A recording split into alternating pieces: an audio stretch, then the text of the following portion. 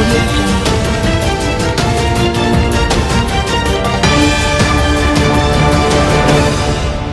नमस्कार दोस्तों, अगर आप महेंद्र सिंह धोनी को बढ़िया बल्लेबाज मानते हो तो इस वीडियो को ज़रूर लाइक कीजिएगा। भारतीय क्रिकेट टीम के पूर्व कप्तान महेंद्र सिंह धोनी सबसे स्मार्ट क्रिकेटरों में से एक है और इस बात का प्रमाण आज न्यूजीलैंड के खिलाफ खेले गए पाँचवें ओडीआई मैच में देखने को मिला। अनुभवी विकेटकीपर और बल्लेबाज धोनी ने सैंतीसवें ओवर की दूसरी गेंद पर सभी को चकित करते हुए खतरनाक खिलाड़ी जिमी निशम को आउट कर दिया। न्यूजीलैंड के खिलाड़ी जिमी निशम कर, बल्लेबाजी करते हुए टीम को जीत दिलाने के ठान बैठे थे, लेकिन धोनी ने अपना मैजिक दिखाते हुए निशम को रनआउट कर दिया।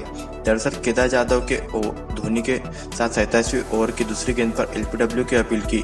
निशम लगातार अंपायर के इशारे का इंतज़ार करते रहे, लेकिन वो भूल गए थे कि वो क्रीज से बाहर थे। इस बात का फ़ायदा उठाते हुए महेंद्र सिंह धोनी ने जरा भी देर नहीं की और बॉल विकेट की तरफ़ दे मारा और जिम नेशन आउट हो गए।